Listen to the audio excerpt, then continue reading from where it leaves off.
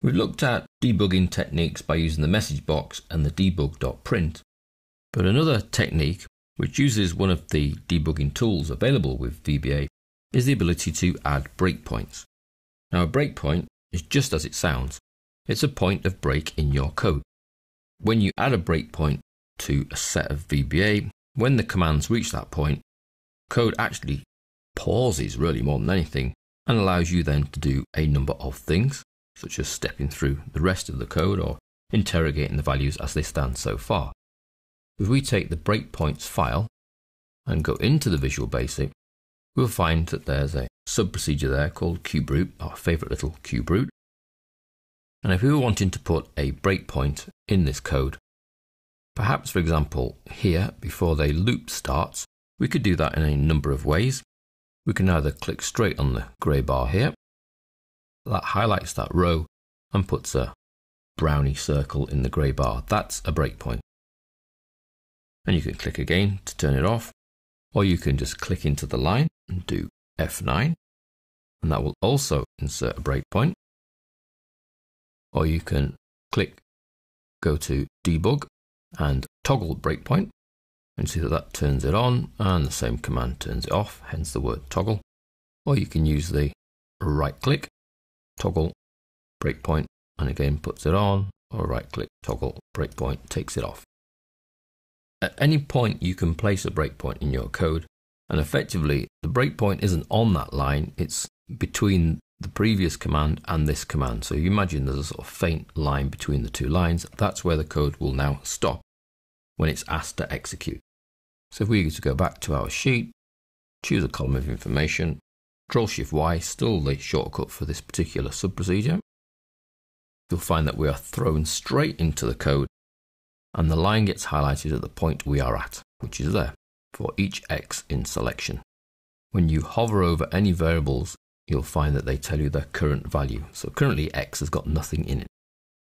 So X equals nothing, because we actually haven't started the loop yet. This is just at the point of starting the loop. Now, whilst you're in breakpoint mode, you can actually do things in the immediate window. So you can interrogate the value of variables. So if I wanted to know the current value of x, which I do because I hovered over it really, I can put question mark x. But as x actually officially doesn't exist yet, we have no current value. I can step through the code to the next line, to the next command, by pressing F8. So you can see F8 moves me down to the next line. Yellow highlighted line is currently where I am in the code. And you can see as I hover, x dot value equals 64.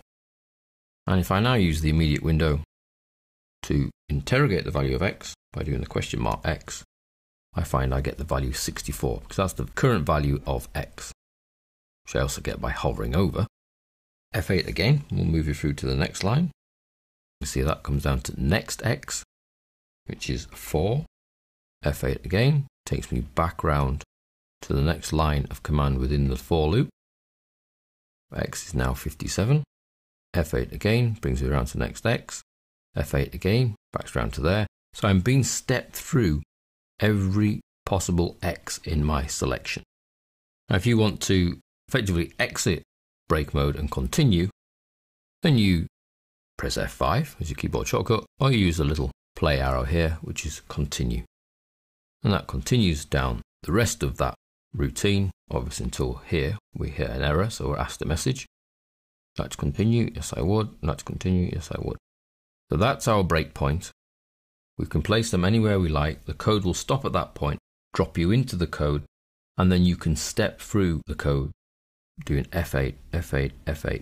At any point during the paused status, you can use the immediate window at the bottom to interrogate or whatever we want. We can also step through the code, which we've seen as F8, or we can step over or step out. So in the debug, we have step over, and step out, whereas F8 is step in. Notice these are currently grayed out because we're not in the middle of running the routine. If I go back to Excel, pick on the next column of information, Control Shift Y, Here's my breakpoint. And when I go to debug, you see I can step into, which is the next line, debug, step into, but that's F8, so that's much quicker using the keyboard shortcut. Or I can step over, which skips me over the next step, so I can sort of quickly move through.